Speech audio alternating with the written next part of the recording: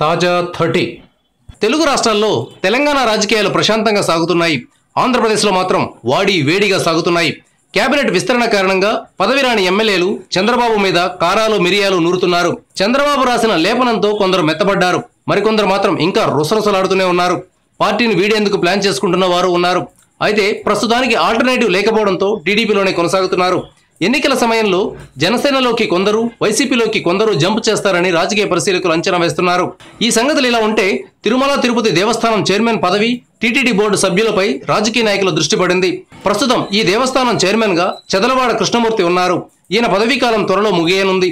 ఆయన స్థానంలో టీటీడీ పగ్గాలు చేపట్టాలని నరసరావుపేట ఎంపీగా ఉన్న రాయపాటి సాంబశివరావు ఊవిల్లురుతున్నారు కానీ రాయపాటి మీద చంద్రబాబుకు సరైన గురి కుదరడం లేదని చెప్తున్నారు.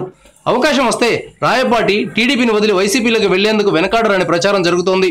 ఈ కారణంగానే రాయపాటి శిష్యుడైన డొక్కా మాణిక్య వరప్రసాద్కు మంత్రి పదవి ఇవ్వలేదని చెప్తున్నారు.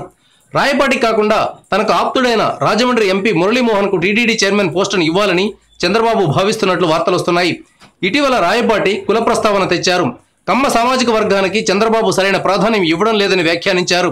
సుదీర్ఘకాలం పాటు రాజకీయాల్లో ఉన్న వ్యక్తి కూడా కులం గురించి మాట్లాడడంతో చంద్రబాబుకు కోపం వచ్చిందని టీడీపీ వర్గాలు చెప్తున్నాయి.